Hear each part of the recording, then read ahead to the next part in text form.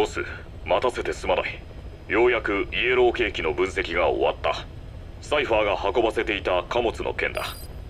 イエローケーキ自体の組成に変わったところはない。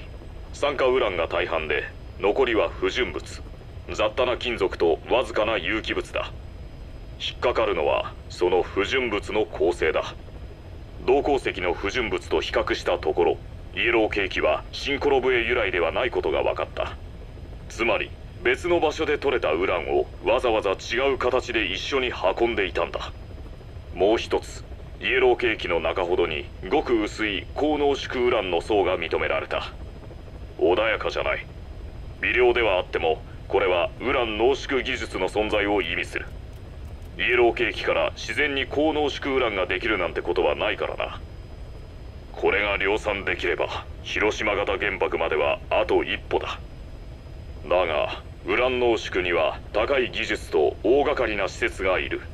ザイールにそんな施設があったとしたらソ連が黙っていないはずだ。問題はまだある。イエローケーキとウラン入り銅鉱石がどこへ運ばれようとしていたか。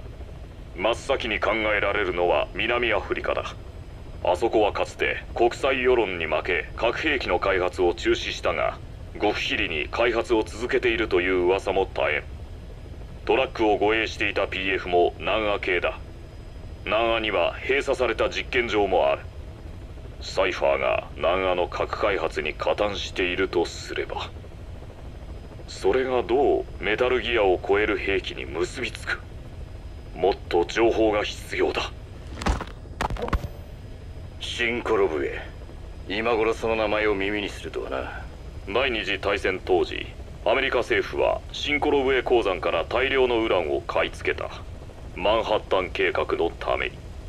浸水した坑道を修繕するために工兵隊まで送ったそうだ。それだけ良質のウランが取れたんだろう。そして世界初の原爆は完成した。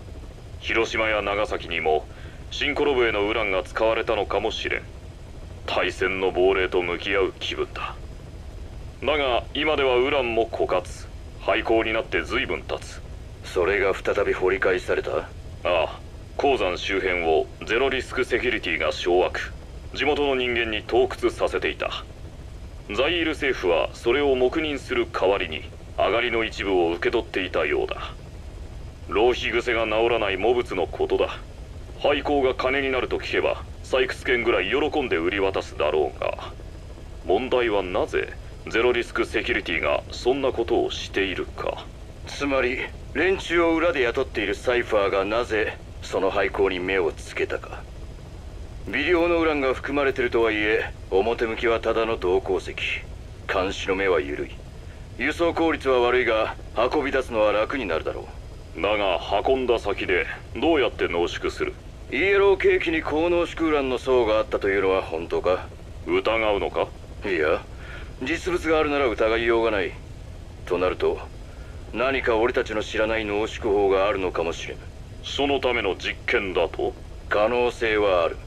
そしてそれは成功に近づいている